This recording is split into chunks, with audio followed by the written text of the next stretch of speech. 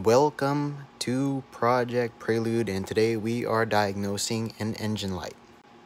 Absolutely nobody has made a video on this specific subject. I'll bring it to light. We've got ourselves a check engine light. I'm too lazy to turn on the car to show you.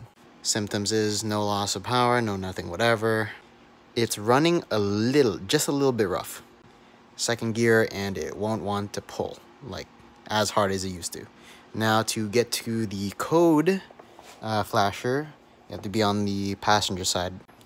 Rip out the carpet right here.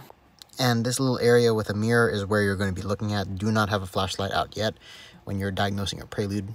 I'll let you guys see the sequence. Long, short, short. I may be wrong on it, but it might be an EGR, so uh, we will be cleaning that. But leave a comment if you think I'm wrong and if it's something else.